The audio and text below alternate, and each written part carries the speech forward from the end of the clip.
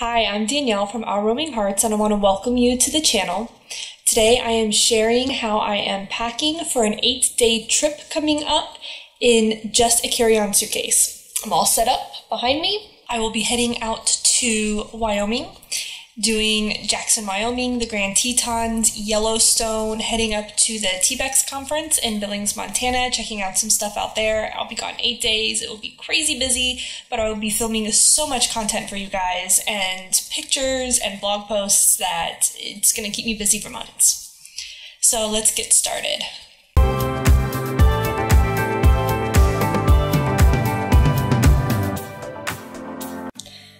Before we get started too much, I just wanted to share with you everything I have laid out here, just so you get a full idea, because you may not be able to see it all once I position the camera and start packing.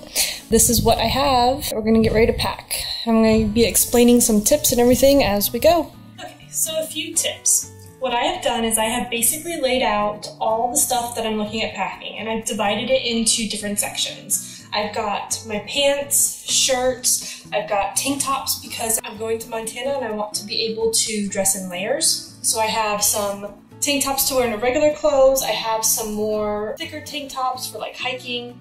I do have my hiking clothes. I have my sleep clothes. I have socks, bras, underwear. I have over here, I have swimsuits and sweaters and jackets.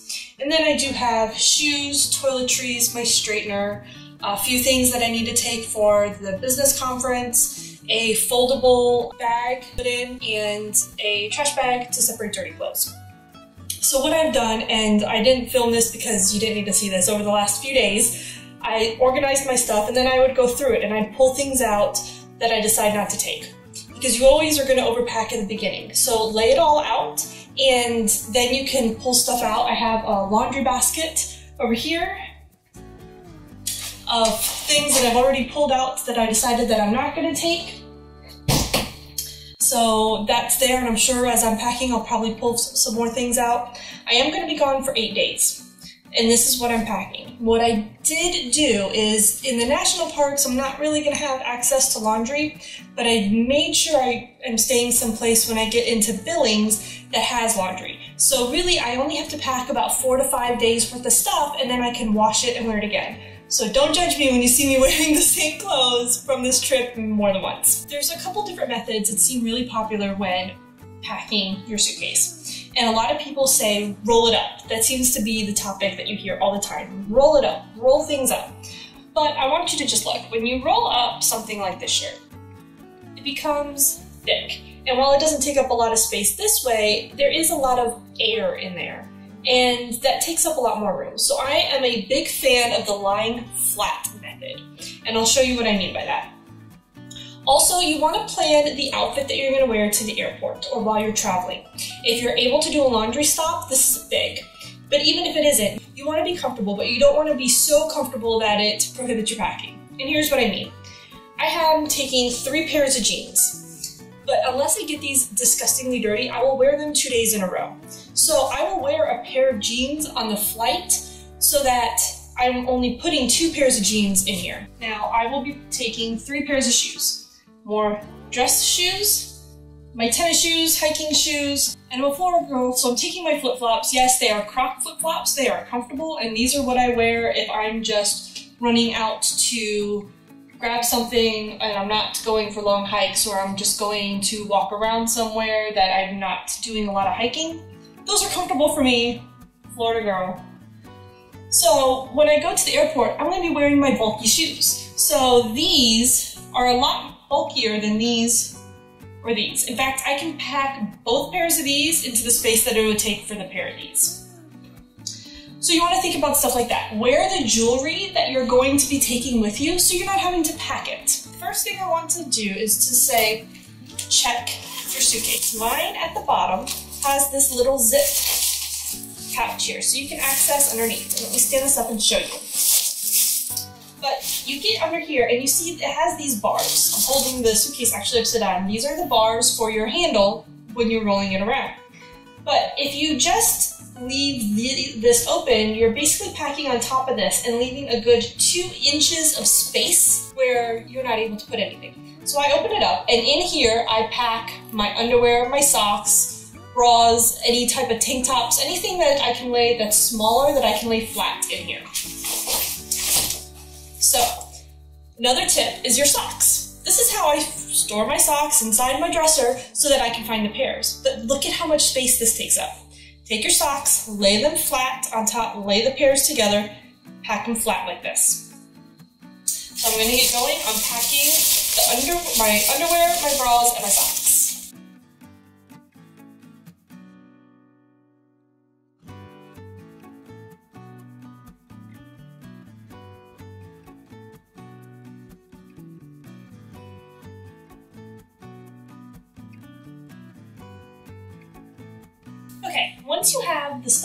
Bottom, you kind of want to squeeze it and let all the air out. You're going to want to kind of compact it some.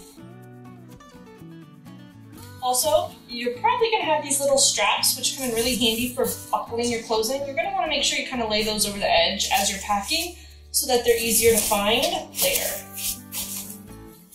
Okay, this is where my lay flat method comes in. Now, these are pretty bulky laying like this. But if you unfold them,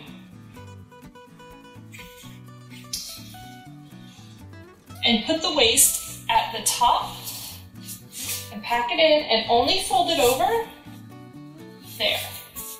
Okay? And fold it in. Then the next pair that you do, you want to go the opposite. So I put the waist of my jeans at this end.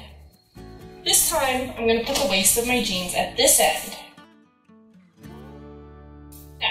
Both pairs of jeans packed. I pulled out a separate pair of jeans for me to wear on my flight. Again, making sure that these straps stay over. Okay, now I'm going to put in my sleep pants.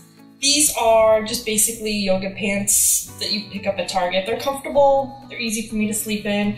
It is supposed to get down to the 40s, 30s and 40s at night, so I am packing pants versus shorts. And I'm basically doing the same thing.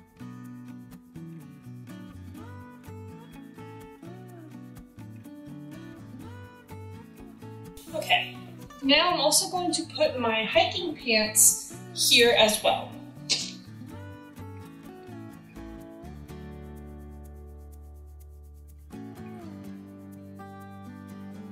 There you want to do another kind of smush down, especially around the edges. Pants in. now, the next thing you're gonna do is pack. You could do shirts next. I mean, it's not really a big deal. I'm actually going to do my tank tops because and my hiking shirt because I can kind of get those around the edges. Um, the middle is kind of a bit thicker, so right now from the pants, so I can get these kind of folded around the edges to give me kind of an even, plain, even thing here.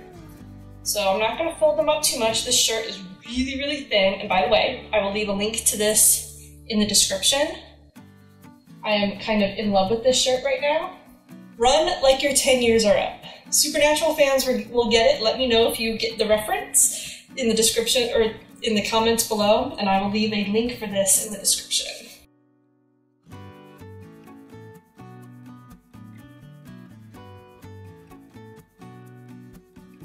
I did see a great meme floating around that said, as you're packing, lay out all your clothes and all your money, take all the money and half the clothes. Or it was double the money and half the clothes, something like that. I thought it was really fun.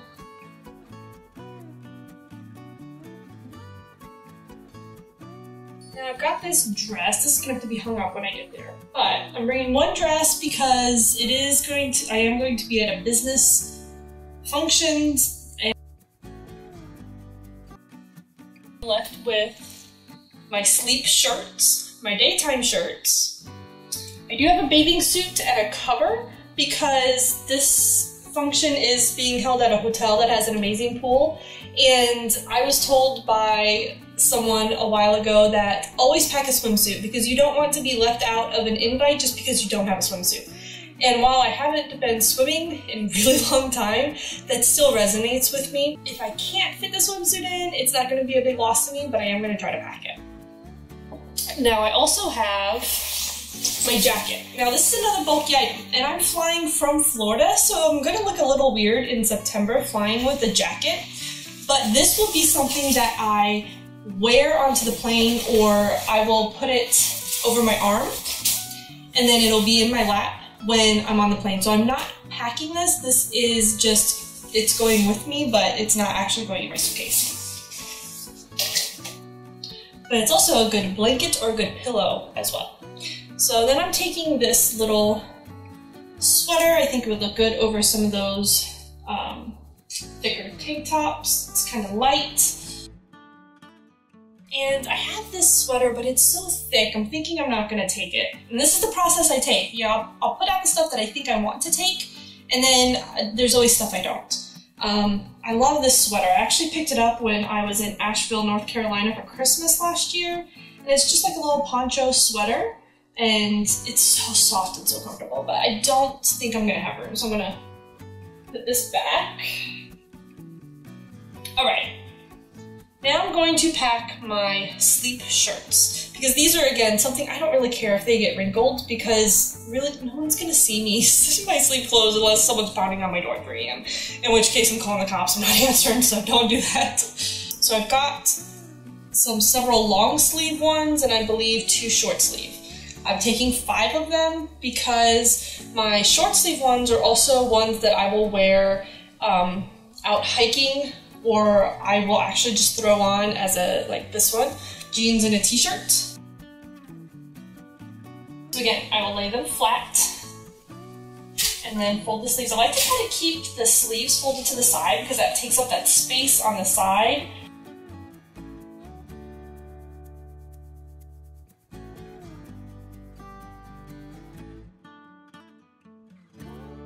Bear with me, I know it's starting to look full, but just trust me. Now, and you just want to watch, like right now, because I've now stacked the sides, the center is pretty empty. So I'm gonna fold this one just enough to go in the center. The big key is to make sure that you maximize your space and you want to keep things flat as much as possible. Okay, now I've come to my shirts that I have laid out to take. As I said before, I don't need but four to five days worth of clothes. So you will see me in a shirt that I wear probably in Jackson again, you know, several days later in Billings because I will be doing a laundry stop. I do have several short sleeve shirts and a few long sleeve as well. So now I need to decide what I'm actually taking. Since I only have two long sleeve, I think I'm definitely going to take these but I am going to check the weather just to be sure. So the high in Jackson when I'm going to be there is going to be about 70 degrees with a low of 33 to 34 degrees. Billings, and I find this funny because Billings is further north than Jackson, Wyoming is, but Jackson is up in the mountains in the Grand Tetons. So Billings has a high of about 80 degrees with a low of around 54. So I am going to pack my two longer sleeve shirts. Again, I lost my little strap. Make sure you keep your straps out. Very important because this is how you're to kind of squish it all in. So now that I have that, now I've got to decide what of my short sleeve stuff I'm to take.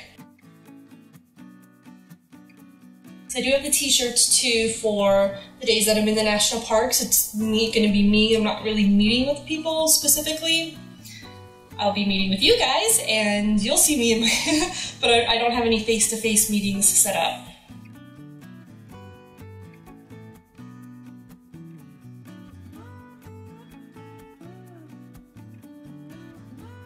And don't fret, I'm going to show you how I get the rest of the stuff into my suitcase. Now I'm gonna go for it. I am gonna take the bathing suit.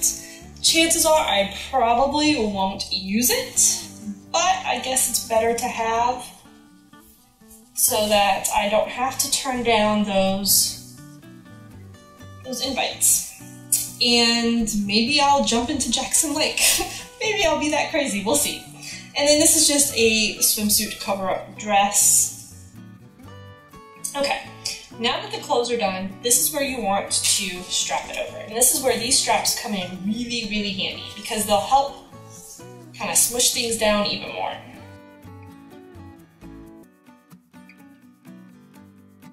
Alright, now let's get out what I have left to pack. Okay, I had to go back in because I forgot to pull out one of the tank tops and a shirt to wear, so I will have those set off to the side and I will wash them and then be able to wear them again in Billings, but I will wear them on the flight. This is what I have left. I have this little zip-up carry-on. Now, I don't always bring this with me, but because I'm going to be meeting with a lot of travel brands and I'm going to be meeting with a lot of reps, um, I want to make sure that I'm able to bring back all the paperwork that they're going to give me. And from my experience last year at TBEX, it's a lot of paperwork. Um, and I want that paperwork because there's a lot of information, a lot of contact information on it. Uh, I did last year. I sent a UPS box home, and because it's paperwork and it's so thick, it was it was like 50 bucks to send something home. So I've checked my airline ticket, and it is going to be cheaper to put to check a bag and um, have a bag go home with me than it will be to mail something home. So what I will put in here, I will put basically my dirty clothes, um, stuff that, yeah, if the clothes get lost, it's gonna suck because I like my clothes, but it's not a huge deal. I'll be at home, I'll have plenty of clothes at home, and what girl does not love an excuse for a shopping trip? So I'll put my clothes in here, and then I will put the important business paperwork, my electronic stuff that I don't want to lose in my bag. So this I will put in the little zip, zip up case here. And then I also have my folder that has all my um, itinerary, it has my schedule, it has the conference schedule, it has any um, confirmations, my hotel confirmation, my um, airline confirmation tickets, the conference confirmation tickets, it has all that, all what's in here. And then I put my receipts and everything in here along the way because this is a business trip. Okay, I also will put in my hair straightener. I don't bring a hair dryer because I find most places will have a hair dryer, and generally I am not so concerned about doing my hair on a trip. I will um, take a shower at night after I've been hiking and been out all day, take a shower, and I will kind of let my hair air dry while I do just a little bit of work, and then go to bed. And then in the morning, I will get up and I'll just straighten my hair, so it's one less thing that I actually have to pack. Now, I do bring a trash bag because I am getting a rental car, so I will be in a rental car through for the week. And I will take my dirty clothes and put them in a trash bag to keep them separate. I can put the bag into the back of the trunk and then um, put it with me because I will not have to pack like this again until I get ready to leave Billings. Alright, my toiletries. Now I have one that has all the liquids and stuff that has to meet the TSA standards, one that is like my brush, my makeup, my toothbrush, I will be doing a separate video on kind of what I pack uh, just to make sure that it fits. But generally, I will put the, these into like my personal item or what I'll be doing this trip, and I'm keeping these out because I'm going to shoot a quick video after this. Um, but I will put this in here, and this does stretch, and then I'm able to just zip it up. Sorry about my dog. a rabbit can run across the yard and he barks. Um, but I'll zip that up and then it's right there for TSA. Pull it out and put it right back in. Okay, now I'm to zip this up just to show you that it can be zipped up. Okay, nice and easy. Now, I did take my bulky tennis shoes and I put them over here because these I'm going to wear on the plane. They are a bit of a hassle through TSA having to take them off, put them back on. I would much rather wear my flip-flops, but these would take up so much more room. I'm going to put both pairs of these shoes in here, whereas I would only be able to get these in there. So I'm going to wear these, and I'm going to pack these. Now this suitcase is a trooper. I have had it for many years, so I kind of know what it can handle. It's got a, it's got some wear and tear. Um, but I will link to this. I picked it up on Amazon, and it just it expands, and it's it's a trooper.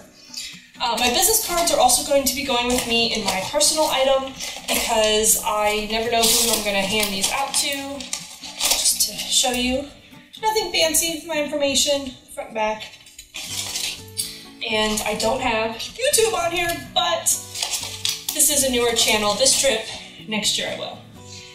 Now let's talk personal items. Your personal item is generally a backpack or purse. Ladies, you want to maximize this. If you have those little purses that you carry around, think bigger. Get a tote bag, put that little purse inside the tote bag, flatten the purse out and put it in here and put your stuff into a bigger bag. Bigger bag. This is like this is what I like to bring with me. Now I have a couple things in here at the moment that are going to be shifted around, but this is just a tripod. I've got gum because I gum for the airplane, uh, a couple charging cords in here. So this is a tote bag that has a spot for my computer, a padded spot for my computer. And then it has this little thing here where I can slip a cord in. It has a little cord here so I can, um, it's a little USB port. I can plug my phone cord in and my external power bank will be in here attached to this and I can charge my phone without having to have wires all over the place. And then I can just tuck my phone right in here like so, while it's charging and it's not a whole bunch of wires. Now, and then, like I said, I will, literally, I will put my wallet in here. It has, I'll link to this again, Amazon. I love Amazon. um, I don't know if you guys can see it, but it has little pockets that are perfect for like lip gloss and even like little card holders. So I put my makeup stuff right in here. My laptop will go, can go here, and then I've got room. I literally just take my wallet and then I will shove stuff in here. I have been known to come home with clothes in here, paperwork, um, stuff that just after I pack this because you always come home with more stuff than you leave with. So get a huge tote bag and you will thank yourself for it. But this year I'm gonna see if I can somehow cram this maybe back into here. I'm gonna try it. I may not be taking that because I'm going with the backpack.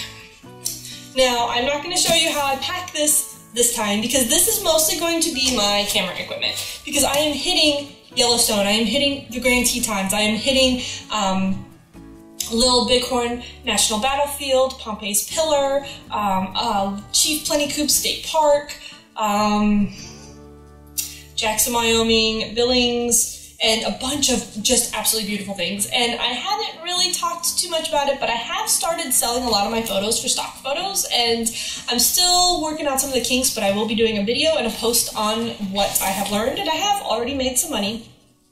So this is going to be, and again, an Amazon purchase. Um, I use my free Amazon gift cards. I'll link to how I do that below. But this is going to be my camera bag. Um, and this is these are all these all come out and move around as I need them. So my planning is this will fit my laptop here. So my laptop will go here. My big camera, my DSL camera will go here. I have, um, I'm not going to be taking a bunch of lenses. I'm bringing just the camera and I invested in a lens that shoots close up um, and all the way up to uh, 200 mm further away. So I'm just taking the one lens, I'm not taking my, my bigger lens. So I've got that here. And then I will have my camera that I'm shooting on right now. It's just a little Sony camera. And there's room for that here, and it's in its own little case. I can put that here. And then I will be bringing a GoPro uh, and it's not, I'm not bringing the actual, it's not an actual GoPro, it's like an off-brand, but it works really well. And it's a tiny little thing. That's also going to go here um, because I'm going to be doing some scenic drives for you, the drive around Jenny Lake and Yellowstone and the Beartooth Highway. That's all going to be shot as well. That's going to go in here along with any of the little accessories. Um, and then I've got several different, I've got the little bendy tripod there. I've got a couple different tripods, little selfie stick thing here. Um, I can take these out and that can all go right here is the plan. Any other accessories, batteries, SD cards, all that can go in here. And then I've also got, and I'll be doing a video better with all the stuff that I'm bringing. But I've also got, you know, this little USB card charger that I'm going to be bringing so I can charge stuff as needed. that's all gonna go in here. And then I've got a little thing here I can put extra stuff in. So that's all what is gonna be basically in here. I might rearrange things just a little bit. This is the first time that I will be traveling with this, so things might be rearranged just a little bit. But this is just YouTuber, blogger, life related. For those of you that aren't packing massive amounts of electronics and equipment that you do not want to check and you want you don't want to put in the overhead, you want to keep those as safe as possible. So that's why these are going in the backpack and these will go at my feet.